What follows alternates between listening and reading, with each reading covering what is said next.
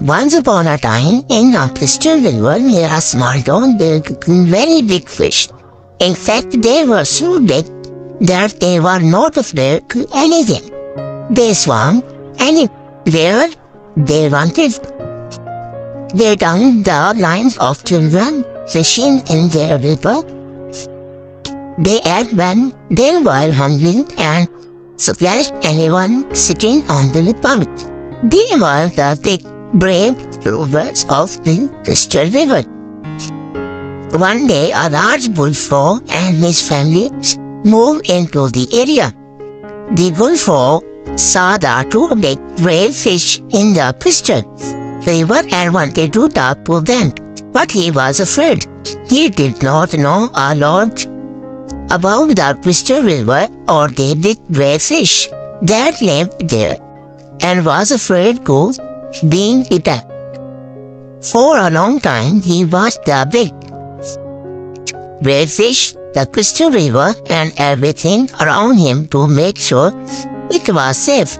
The bullfrog was very smart and used his common sense to guide him. Then with the might hope he jumped into the crystal river to introduce himself. I am Crocker, the biggest and smartest bull in the world. He said, Is there so? replied one of the fish. We are the biggest and bravest fish in the crystal river. The other fish looked at Crocker and said, If you are nice and may let you share our water. The three talked and over time, the two big brave fish and Crocker became friends every day. The three of them would meet at the same spot in the crystal clear river to eat, talk and play. Late on evening, as the three were talking to fishermen, passing passed by Crocker, saw them and common sense told him to go into the water and hid under the bum. The two big brave fish slowly swam in circles so the fisherman could see just how big they were. One day, one of the fishermen saw them and said, This crystal river has some really big fish. Let's come back tomorrow morning and catch them.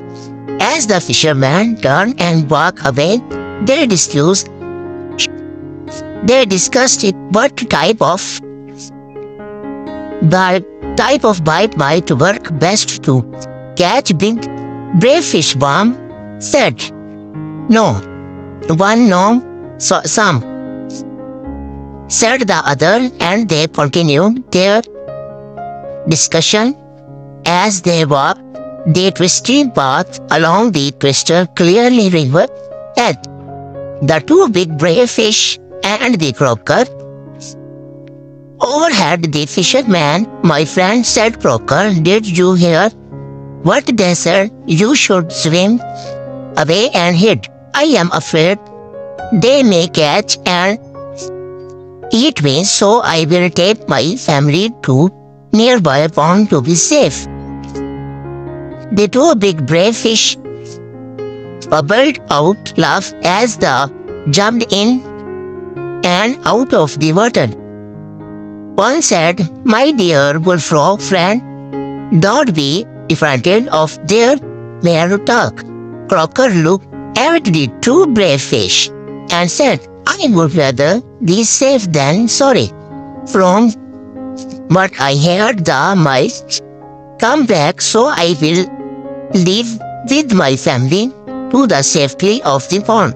Crocker laughed and the two big brave fish swam to the bottom of the Crystal River. The next morning,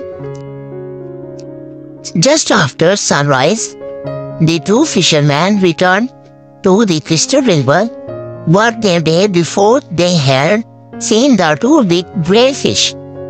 They walked slowly and quietly so as not to disturb them. Look, desperate. One of the fishermen, there they are, the fishermen, gently cast their bite and let it slowly draft in the crumb they attract. The big brave fisher, the big brave fish I was in movement, each had hooked one of the big brave fish. Then the battle between the fisherman and the fish began. The big brave fish used all their traps to free themselves. They, they, they dive deep, swam fast, and leaped from the water, thrashing their tail and head in an attempt to get free. The battle raged for over 10 minutes, but in the end, the big brave fish were no match for the fishermen. They were caught. Crocker watched from the safety of the rocks that separate the pond from the bank of the Crystal River. Of the underworld's excited, each had caught a big brave fish on their first cast of the day. What a story they had to tell when they returned home. Crocker carefully hoped that to the pond and told his family what he had seen.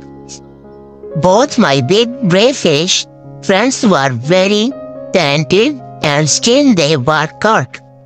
What I with only common sense. Saved my family, I will miss them. We have to learn a lesson from this, said Crocker of his family.